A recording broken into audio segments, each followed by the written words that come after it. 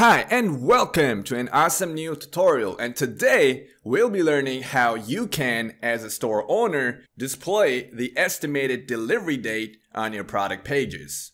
Cool. Okay, so the first thing you'd want to do is you want to make sure you're on your AfterShip admin panel. And once you're here in this page, you want to click on Apps. And then click on the AI Predictive EDD app. Awesome. Now let's select the date format. So either you can choose a date range, which gives your customers an estimate on delivery date, or you can choose a single date, which gives your customers the exact delivery date for their deliveries on their orders. Perfect. Now for this tutorial, I'll go ahead and choose the single date option. Let's click on it, click confirm, and the date format is updated. Next, let's configure the order cutoff and processing times. So in here, you want to configure how long it'll take your warehouse to process an order. Cool. Let's go ahead and click on edit to see how that works. So in the first section, you want to select the amount of time needed to process an order.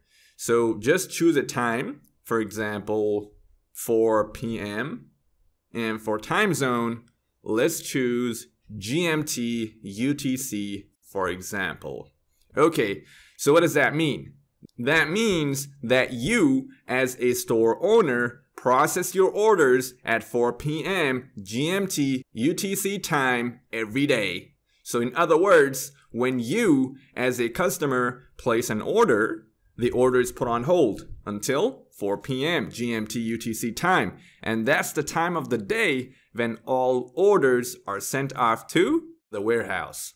Next, you want to choose how long it'll take for your warehouse to process the order. So in other words, once you send the order to your warehouse at 4 p.m., how long or how many days does it take for your warehouse to get it ready for shipping? So choose a number of days I'll keep it to, let's say, um, five days. So it takes them five days to get the package ready for delivery. And then finally, you want to select the day or days when your warehouse can process the order and check off the days, which are days when your warehouse is closed or not working. Great. And once you're done with all your changes, click on Save. Perfect.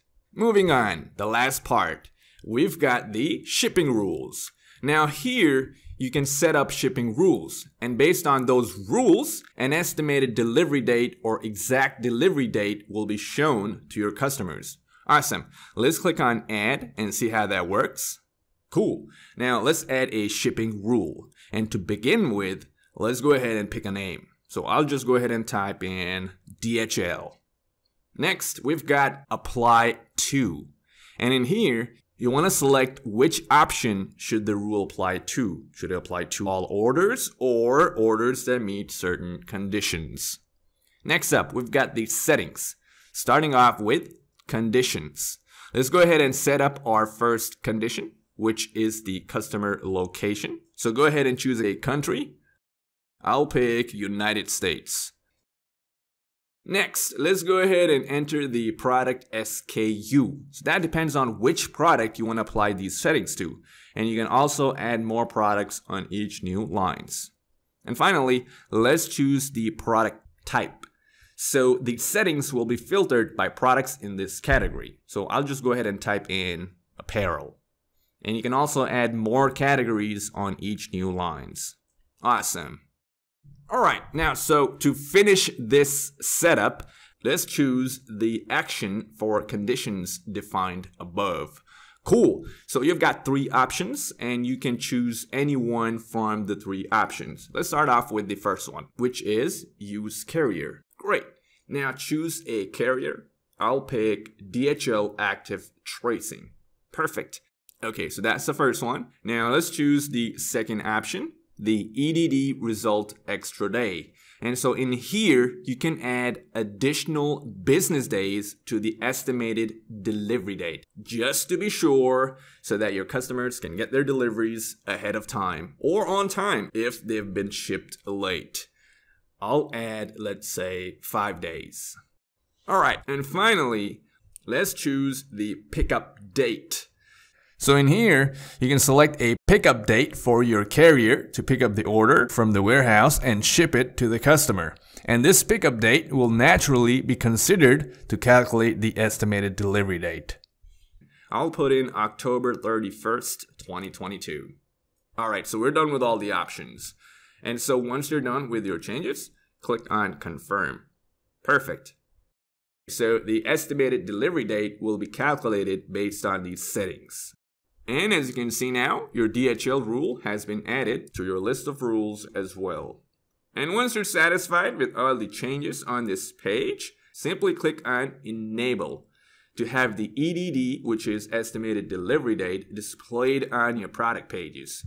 So go ahead and click on Enable. Great. Our product page EDD has been enabled. All right, now let's head over to our online store and let's click on a product page to see if things fall in place or work the way we want them to. Let's go ahead and test it out. All right, now let's go ahead and click on a product. Now the EDD widget will automatically appear on your product pages based on your location. And if in case it isn't, your customers can find out the estimated delivery date by choosing their location manually. So if they click on choose your location, they just need to choose their country, enter their postal code, click confirm, and they'll know the estimated delivery date right away. And for this product page, for example, people in New York can get this product on Monday, October the 10th, if they order now. Pretty cool, pretty convenient, and pretty awesome.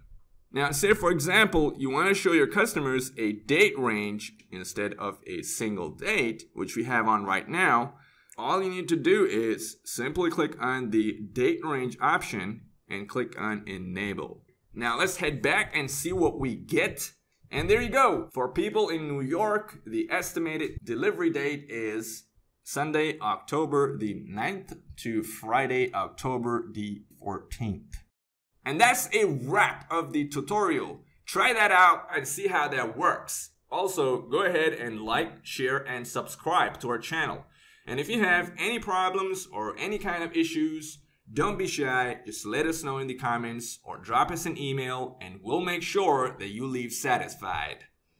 Thank you so much for watching once again. Take care and good luck.